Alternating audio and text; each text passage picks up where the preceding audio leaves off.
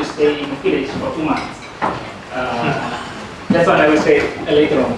I will go faster because uh, we have still have result of this. Uh, so there are five parts, and I will go very fast.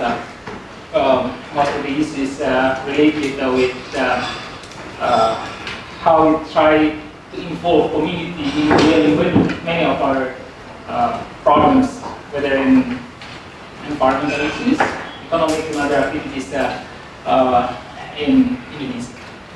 Uh, at first, I would like uh, to back to one of uh, the book that I need to read when I study in Japan. And it's very hard because all in kanjis. uh, written by Tabeta is about uh, the commons. So according to this, this book, uh, if uh, we see our globe, our uh, world, uh, mostly uh, dominated by what the world is common. What is the commons is including the ecosystem and its relation to the social, this is or social life. So most of us living with what we call commons. Uh, and some part is what we call is public sector, and small part is private sector. This is how the history has been going for a long time. But recently, but nowadays, everything changed. It's dominated by the market. Even we have a lot of resources here in Indonesia, probably dominated owned by the private companies or even the state companies, uh, including. That means the role of community is really, really very small part. Uh, that's what Tabeta Masahiro written in his book. And then we are also see nowadays some challenge what uh, has been uh, published by Water in 2011, our situation now. Uh, there's 20% of rich occupy 82% of the global resources, while 80 compete for 20 percent. So this is another chance for what we call as uh, here, the companies. And then uh, the second book I have to read at the time is uh, the Meadows Group, Paul Froome, uh, the 30 years uh, update of limited growth. Uh, and we found many scenarios. I think today we already hear about scenarios if climate change happens and so on.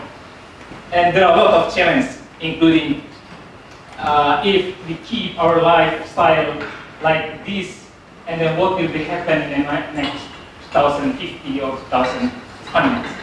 Uh, I think that this is a very nice book uh, for me uh, to read about uh, prediction or projection of uh, our future. Uh, and for sure, there are a lot of our commons problem. Whether we are in Indonesia, in Europe, in United States, or wherever we are. And uh, related with the global, global warming, there is a nice uh, uh, edition of Newsweek in uh, 2007. Uh, they write the winners in a warming world. And for us in topic, and probably make worse and worse uh, based on uh, the prediction. and what are those is uh, including uh, the problem of water and food availability, including accessibility. The water issues could be too much water, flooding. For us, it's already happened nowadays. My hometown, I live in a small island. Uh, last year, uh, it's flooded and whole city uh, covered by the water everywhere. And it never happened before. And flooded, flooded. And some part also have a problem with the water, the scarcity of water because of drought. Second is a loss of biodiversity and environmental uh, service. This is one of uh. And health issues is very important in many of tropical countries in Indonesia. Uh, later I would like to show some data. And the problem in infrastructure, including related with the security and sovereignty related with the migration. Um, also for the case of fisheries in Indonesia, few, day, few weeks ago we just visited one remote island in the eastern part of Indonesia. We meet the Japanese here, uh, where we are now, traveling for 15 days to catch fish. And then staying at the island for six, uh, three to six months. Three to six. Three to six months. And then return back here to catch the fish. So there are a lot of challenges related with the, whether due to the climate change or even the deterioration of these resources from, from the near the nearest. So these are the real challenges. Uh, the challenges for sure is more vulnerable because we are an archipelago. There are a lot of islands here based on data we all we almost make jokes. The data set is 17,000 islands. And then we put 17,800 17 Agustus 45. Yeah. 17,845. What does it mean that the independence of Indonesia? 17 August of 1945. That's our island. because too many islands. uh, yeah, as I mentioned before, uh, there are a lot of, a lot of uh, challenging for us in uh, island countries. There are some scenarios, there are many report, reporting vulnerability of the changing of the climate, whether to livelihood, infrastructure, and, and even some island has been reported, 24 island is gone uh, in 2010, uh, sorry, in 2000. 2000. It, it is predicted due to the climate change. They flooded. Yeah, it's gone. Shrinking. Uh, last year I visited one, one of the islands. Uh, so they call it a seven island in Maluku. Uh, and then only left six. We visit all the six islands and we cannot find the one. The people know there, are, there was seven islands, but now only left six. Six islands, uh, very small island. So, and another challenge is uh, most of the Indonesian population is uh, live in a lowland, in coastal zone. About if we uh, see the Jakarta, most people live in a very close to the uh, coastal areas. The data says 60% of our population live in the coastal areas. So that's why it's very vulnerable to the any changing of environment. And another data is uh, indicating the potential of uh, fever dengue. Uh, we call the Mamberdara dengue.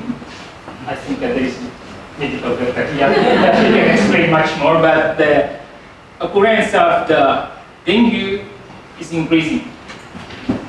And this is for sure due to the changing of environment.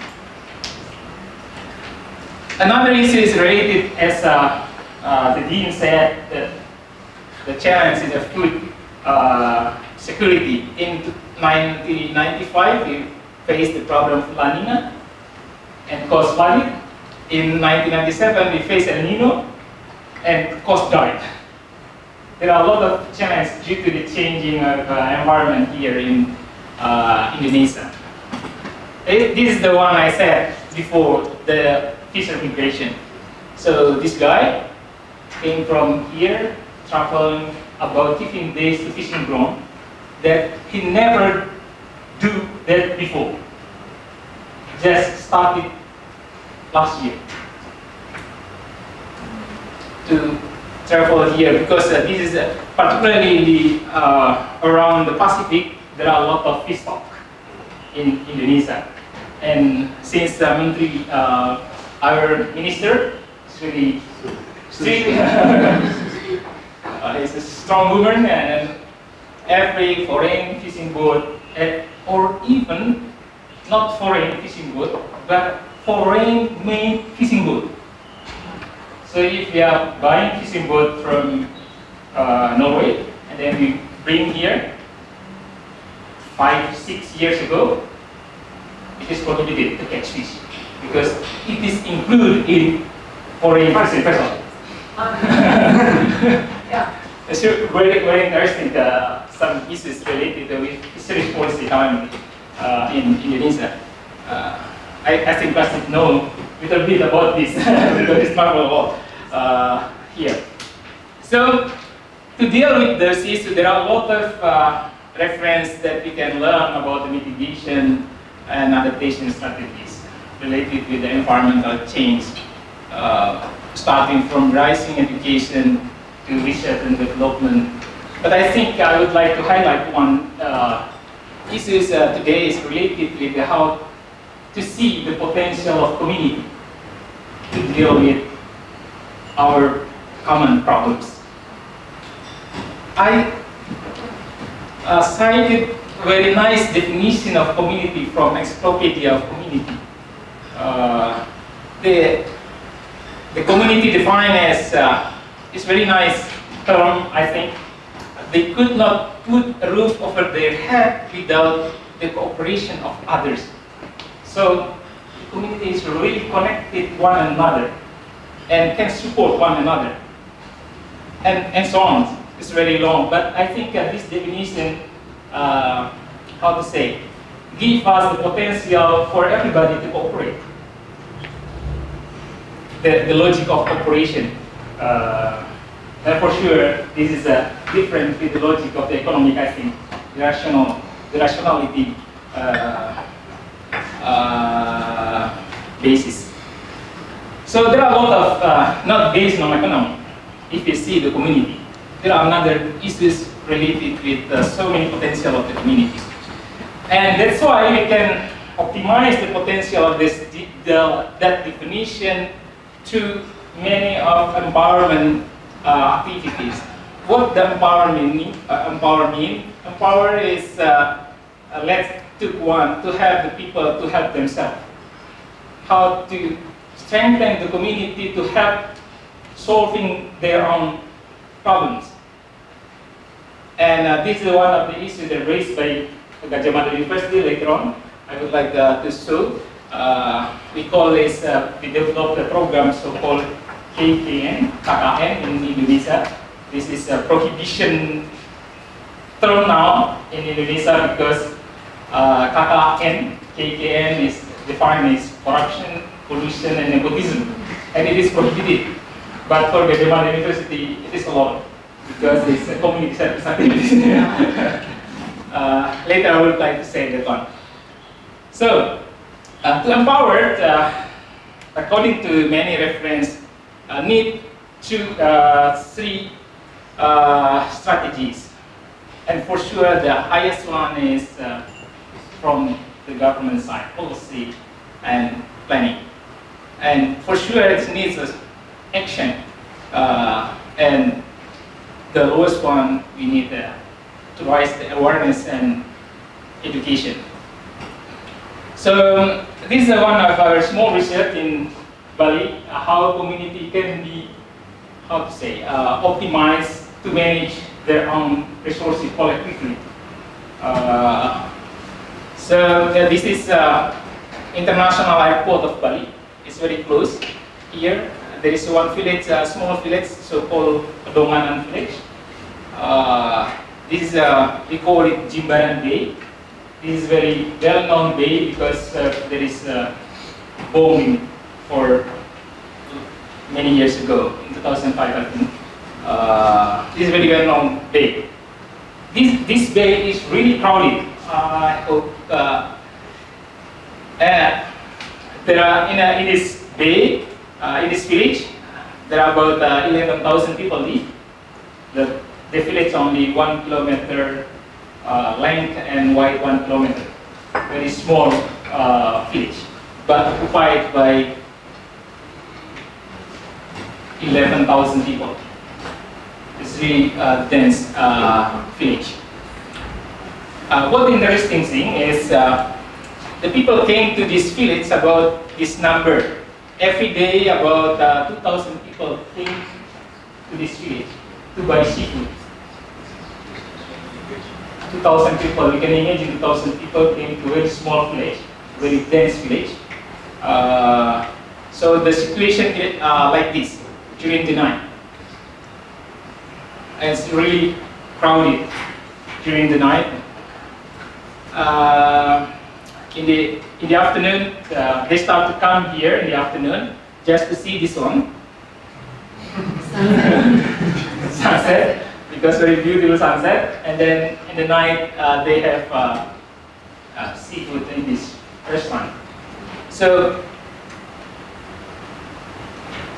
here the restaurant.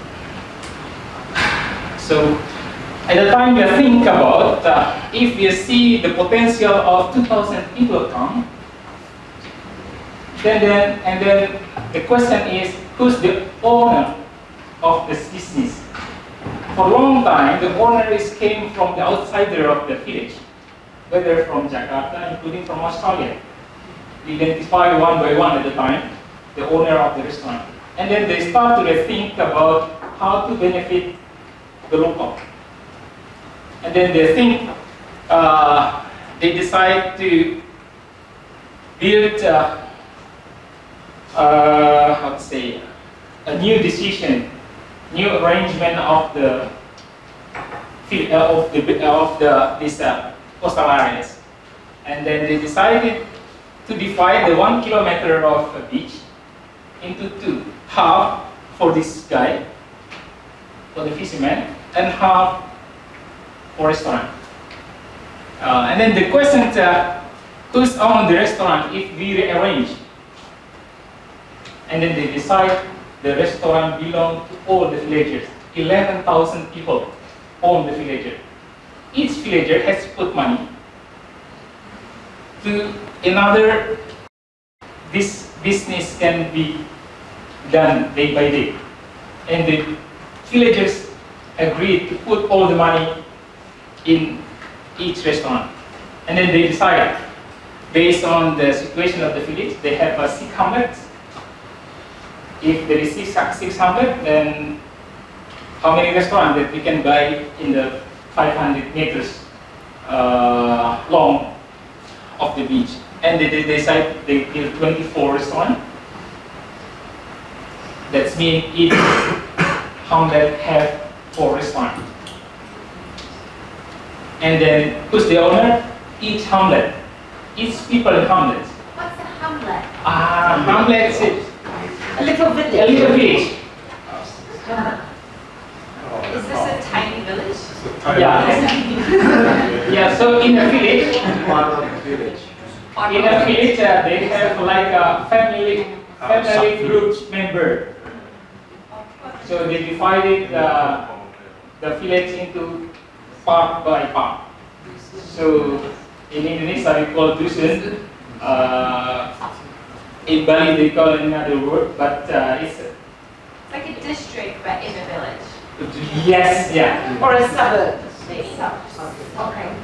I think it's, yeah, Cambridge is a little village. Yeah, little village. village. In fact, the village already small.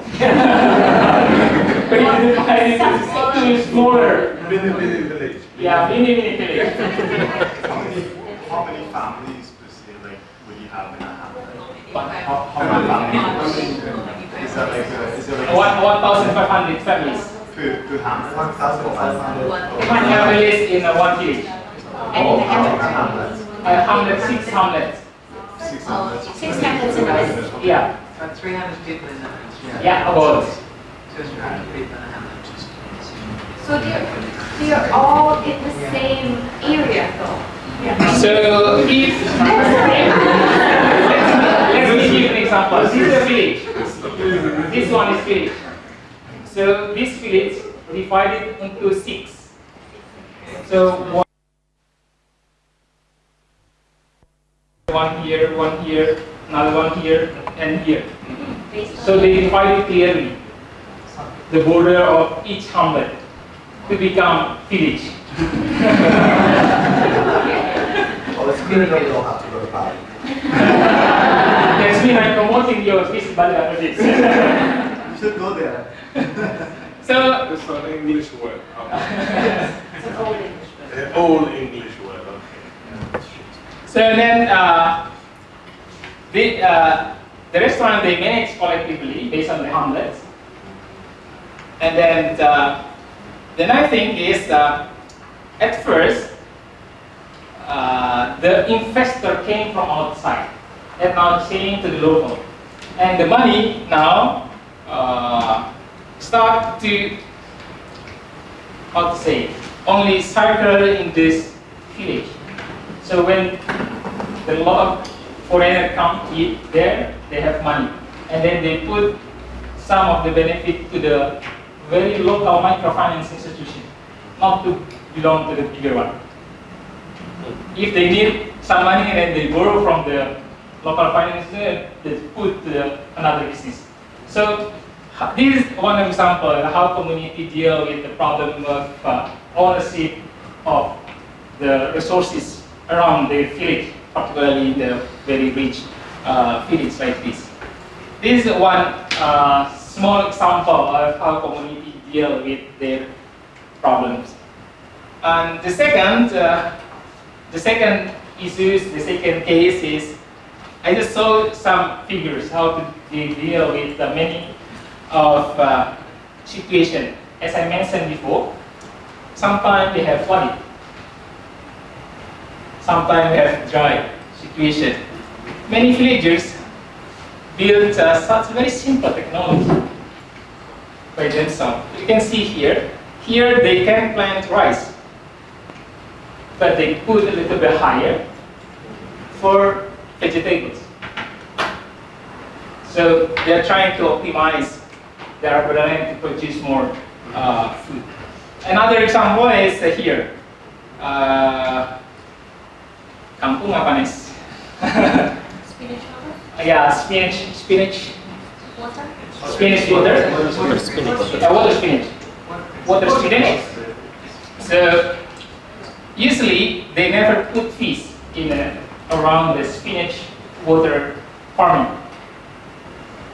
So now they think about if only producing spinach water, this is too small money we can gain.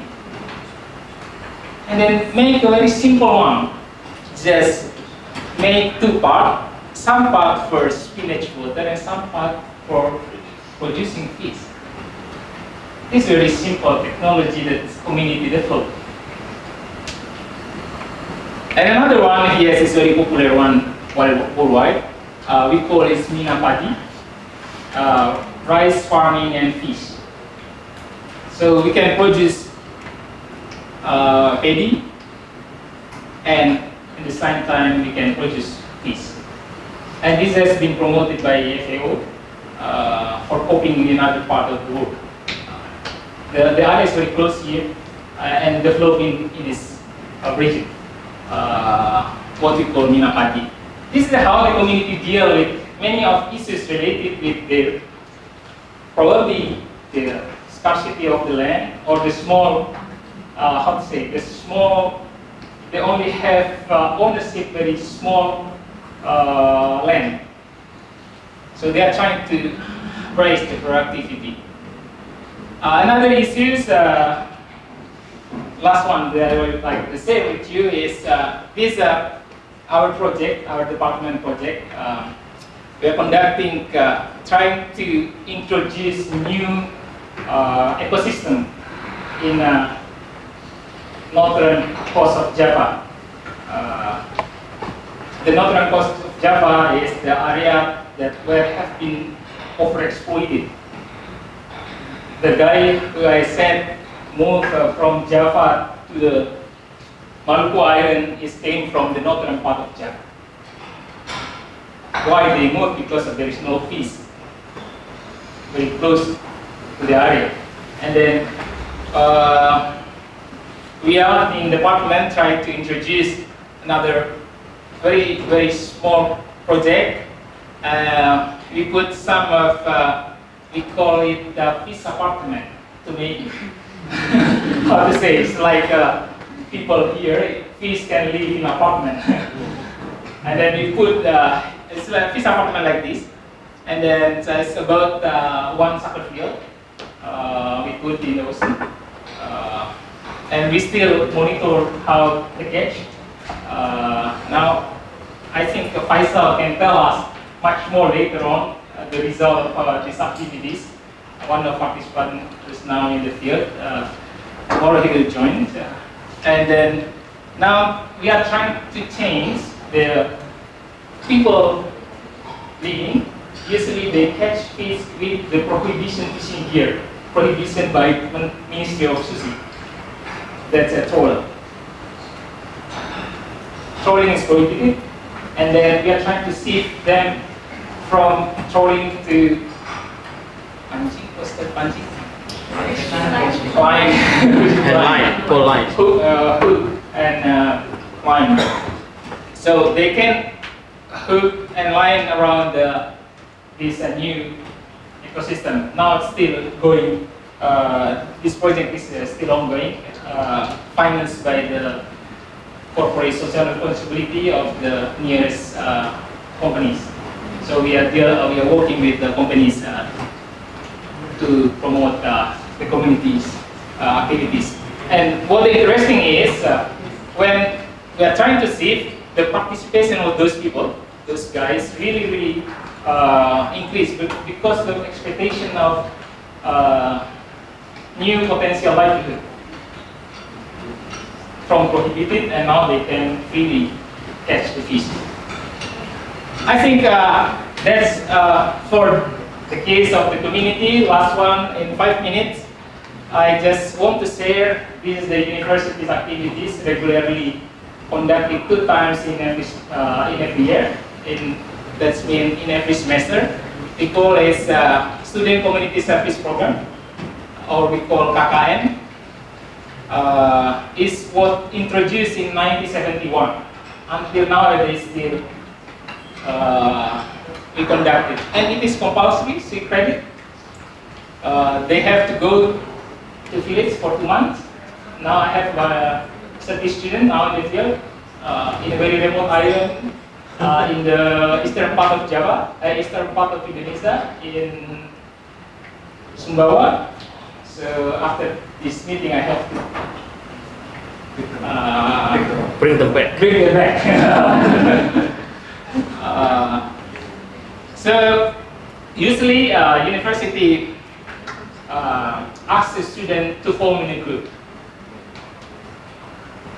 So the group must be composed of uh, what we call is interdisciplinary activities. Those coming from physical infrastructure, whether engineering and some of uh, faculties, those coming from socioeconomic and culture, those from community health, community uh, health, and those from agriculture-related field. So 30% must be composed of these uh, four field of study. They live together in a village for two months, and they have to deal with any problem in So this is the, the start. They start making group, and then after making group, they are dispatched to the village, and then meeting with the people uh, to discuss many program and start starting the program collectively with the communities uh, or applying certain technology. And now recently we have many foreigners come as a visitor or participant for, for only one week. They cannot stay for two months in the village. it is dangerous. uh, so, for example, some example program says like this, make a, a simple bridge connecting one village to another village using local resources. Uh, some, some activities is that they teach uh, children in the fields or many of education related activities in the field. Uh, so this is the, the university's program and compulsory. Uh, and now foreigners, including from Norway, came, joined for one week. Usually Japanese join for one week uh, in the field uh, for doing uh, similar activity with the student. I think that's all uh, that I can share. But as uh, conclusion that uh, are at the university or even facilitator sometimes um, uh, we call external. In, when we go to village, we feel that we know everything. We understand how to deal with problems. That's how we feel. Our, we, we always feel like, like that. But we always highlight the student when they're going to village, they have to appreciate local knowledge, local culture, local resources, and local skill, including local process. Uh, that's uh, all the important thing we need to consider when we deal working together with community. I think that's all from me. If you have any questions, uh, but let's Lisa finish this book first, I think. Thank you.